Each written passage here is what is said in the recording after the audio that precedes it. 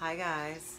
Um, okay, so I've received lots of uh, direct messages and emails and Snapchats um, of people that have followed me for a long time that are asking um, if me not going to the gym right now is some kind of a post-contest recovery period, um, if the competition in India was um, heartbreaking enough that I'm not going to the gym anymore, and um, so on and so forth. So I'm just gonna let you guys all know because I know you look at me and look to me for motivation to hit the gym every day.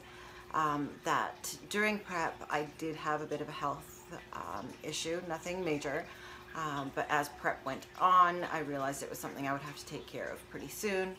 Um, fast forward to show day and post show, uh, the health issue kind of just hit me in the face and was like, you know what, you're dealing with me now. So um, that being said, I did go in for surgery. Um, I was in the hospital for a few days in India and I just had my stitches removed yesterday so I'm totally fine. I'm doing okay but the recovery is gonna kill me. It's two months. Uh, my doctors have told me that I cannot work out for two months.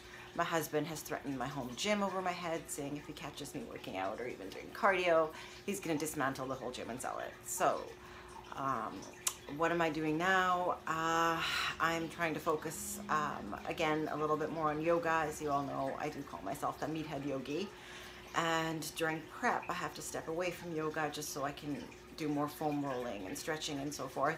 So getting back into yoga full swing um, as I can, maybe long walks.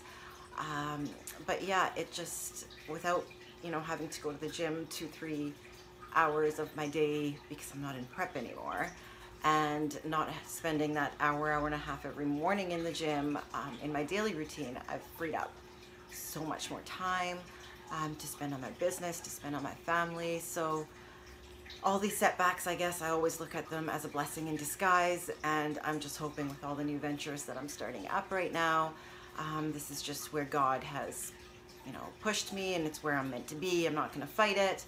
Um, but just so you know, you will not be seeing my gym selfies um, for a few more weeks still. I still have six weeks and three days. Trust me, I'm counting. um, until I can get back in the gym. I may start some slow cardio um, if my husband and doctor's okay it, I guess.